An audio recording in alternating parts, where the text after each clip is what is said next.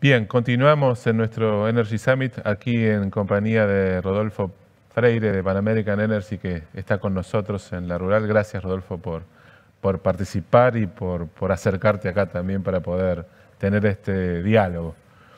Eh, Muchas gracias Hernán, ¿eh? gracias por la invitación, un placer poder compartir este tiempo acá con ustedes. Mira, eh, Estamos hablando durante toda nuestra jornada eh, con mucho foco en el gas, estamos en invierno, creo que es natural también.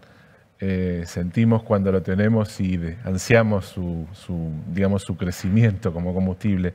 Pero para que el gas tenga un crecimiento sostenido, eh, hay que expandir su horizonte, ¿no es cierto?, hoy por hoy de la mano de la exportación, que es como la primera, el primer paso que te garantiza que esto tenga volumen y mercado. Eh, lo que querría preguntarte es qué pasos hay que dar para que podamos tener eh, ese mercado de exportación una vez que se abastezca la demanda interna. O sea, ¿con qué hay que seguir después de eso? Bien. Eh, yo creo que la exportación, Hernán, es, un, es, una, es clave en, el desarrollo del gas natural y sobre todo el gas natural de vaca muerta. te cuento un poquito. A ver, nosotros venimos de una historia de exportación. Eh, que fue interrumpida y que retomamos hace algunos años eh, nuevamente y principalmente con el mercado chileno. Claro. Eh, en ese sentido se empezaron lo que se llaman exportaciones en verano, e exportaciones interrumpibles. ¿Qué significa eso? Básicamente que se pueden cortar en cualquier momento dependiendo, digamos, de las necesidades de los dos países. Eso funcionó ha vuelto o ha ayudado a contribuir en lo que es la confianza del, lado chileno, del lado del comprador, para eh, volver a, esa práctica de la que es la compra del gas natural con Argentina, utilizando los gasoductos existentes que hay entre, entre los países.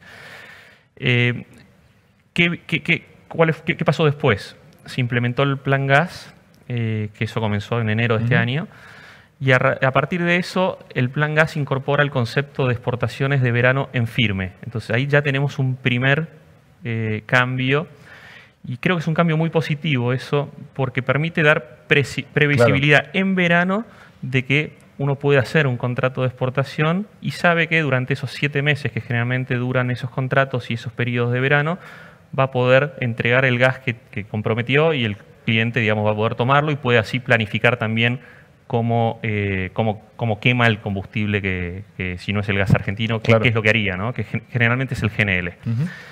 Em, entonces, ese te diría que es un, como una, eh, esta nueva parte que, se, que, empezó a regir a partir del primero de enero o a partir de la implementación del Plan Gas 4.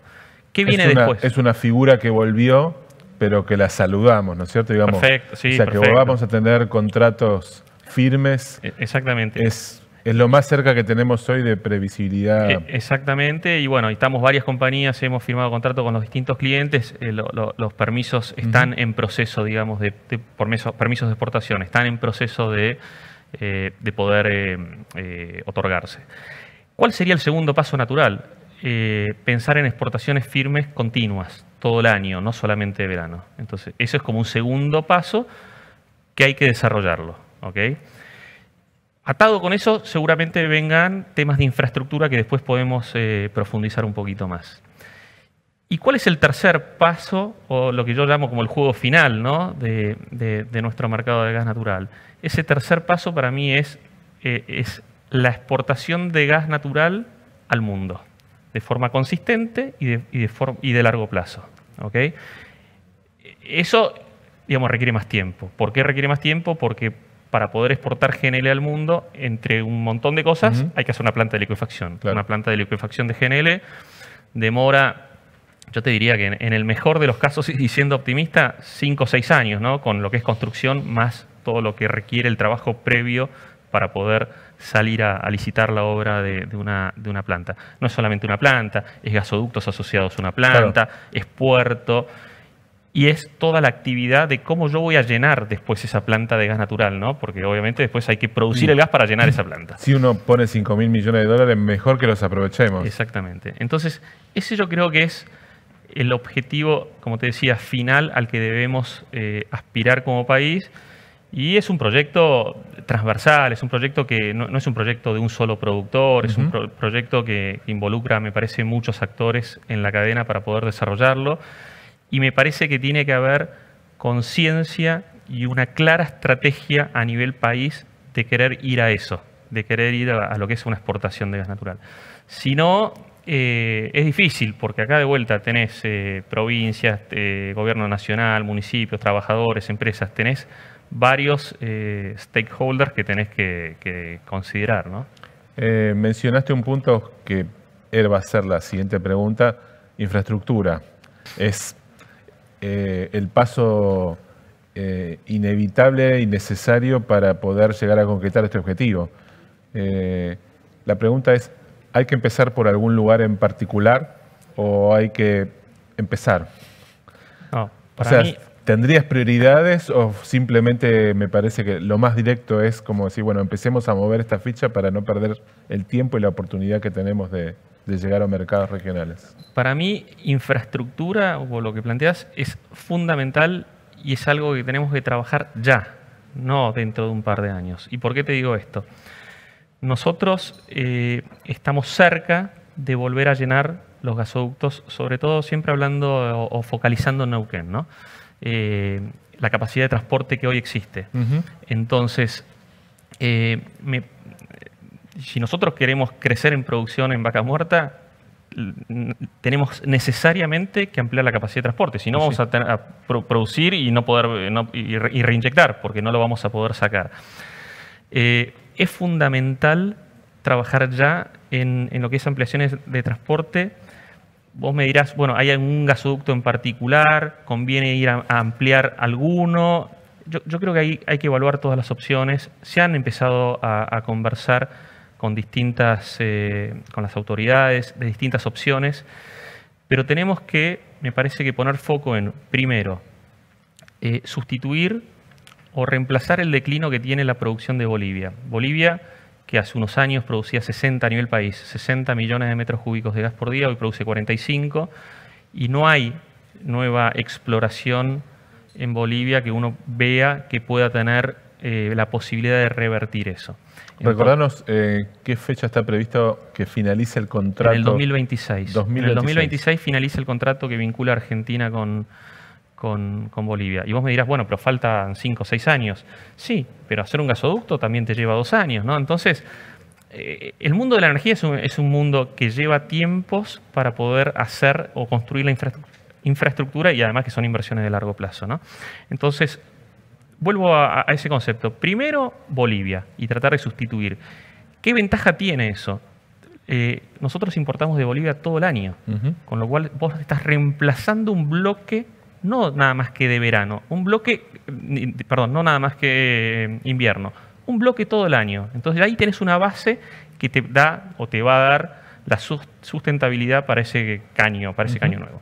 Segundo, eh, importaciones de GNL. Uno puede con un nuevo gasoducto producir más gas y reemplazar todo, todo o una parte de lo, que, de lo que importamos de GNL. Para que tengas una idea, este año estamos importando de GNL 35 millones de metros cúbicos de gas por día y de Bolivia 14, o sea, 50, y producimos 120. O sea, estamos casi a la mitad en importaciones de gas, no de combustibles líquidos, de gas solamente, de lo que Argentina produce.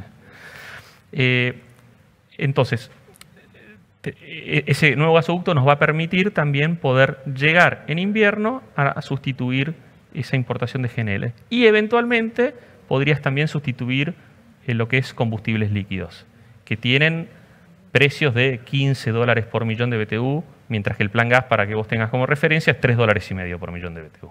Eh, ¿Y el gas de Bolivia en qué valores se está moviendo ese contrato? El, gas de Bolivia tiene un índice que depende del precio del petróleo, básicamente de los de fuel oil y de diésel, pero hoy están 5 dólares y medio, se actualiza trimestralmente, seguramente el primero de julio, que empieza un trimestre nuevo, eso suba por el efecto del Brent que ha venido subiendo a 6 dólares y medio. Con lo cual también es, digamos, uno siempre uno tiene la sensación de que el gas de Bolivia viene casi como, digamos, no subsidiado porque fue parte de un acuerdo de hace muchos años, pero, pero la, ventaja de precio que da sustituirlo también es considerable. Más baja que la de sustituir GNL, pero no es menor mirando los valores actuales del plan gas, ¿no es cierto? Sí, de vuelta, plan gas 3,5, Bolivia 5,5. Y GNL depende del momento, ¿no? Porque a veces uno, uno cree que también, veníamos de hace unos años donde el mercado de GNL estaba, si querés, sobreofertado de alguna manera y Argentina logró en buena hora importar GNL a precios de 3 dólares, 3 dólares y medio. O sea, pudo capitalizar esa compra. Pero bueno, hoy el precio, vos mirás eh, los precios de GNL en Japón o en China, 12, 13 dólares por millón de BTU. Entonces eso es, es, obviamente que pagarlo en el exterior y todo lo que eso genera. Yo calculaba, solamente en importación de GNL este año eh, vamos a estar eh, gastando mil, casi 1.400 millones de dólares. Solo en GNL. Sí, y además se te produce en, en, una ventana de tiempo muy, muy, corta. corta, que es de mayo a septiembre. Hablamos del plan gas. Eh, me gustaría saber un poco cómo evaluás hasta ahora sus resultados.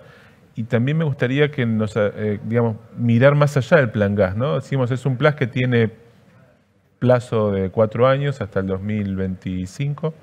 ¿Y después del plan gas qué? Bueno, e-, es buena la pregunta.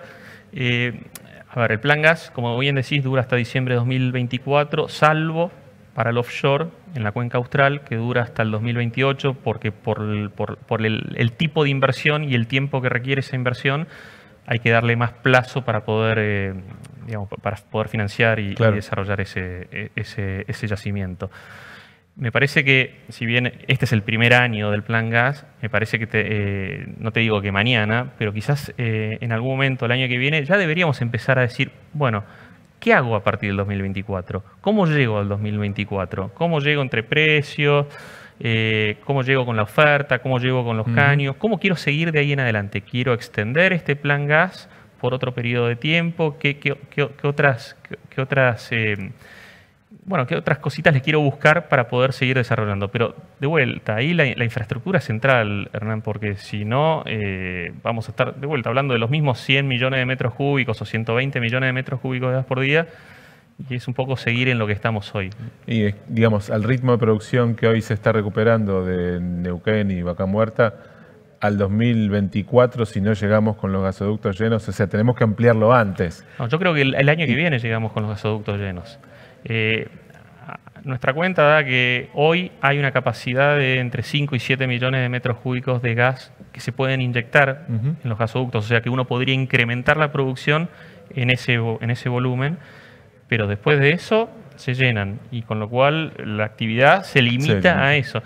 Y tenemos un recurso eh, gigantesco en Vaca Muerta, tenemos un recurso magnífico y es una pena no poder decir, bueno, me, puedo desarrollarlo, puedo hacer crecer.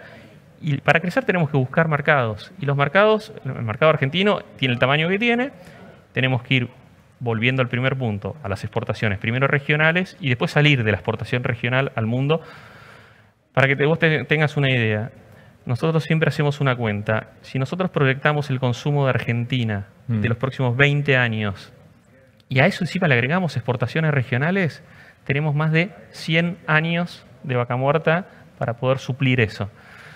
Y esto te, lo, te hago un vínculo con otro tema que es el concepto de la transición energética, que para mí eso se traduce en la oportunidad de la hora. Claro. De la hora que es el desarrollo de vaca muerta ahora, porque Vos bien sabés que el mundo está yendo, se habla mucho de transición energética, de energías limpias, de las energías renovables, cómo distintos países y compañías están poniéndose objetivos de, para los próximos 20, 30 años. Se habla mucho del eh, eh, cero emisiones para el 2050. Eh, entonces, hay que, yo creo que hay que prestarle suma atención a ese punto porque la ventana de oportunidad es ahora para desarrollar el gas. Si, seguimos en, qué sé yo, 10, 15 años hablando de que hay que exportar el gas de vaca muerta al mundo, no, el mundo por ahí no va a necesitar el gas de vaca muerta. Lo que hay que sacar es, eh, hay que sacar, así como tenemos muy acostumbrados a pensar en el costo argentino, hay que sacar el tiempo argentino. En términos de, bueno, nos tomamos un tiempo para ver esto, no, ese tiempo hay que resolverlo de manera más prioritaria, urgente, con otros plazos. Digamos, el mundo, el mundo va más rápido de lo que va la Argentina. y tenés una desventaja, que no tenés la planta hoy, la tenés que hacer. Y como te decía antes, necesitas 6, 7, 8 años eventualmente para poder hacerla, ¿no?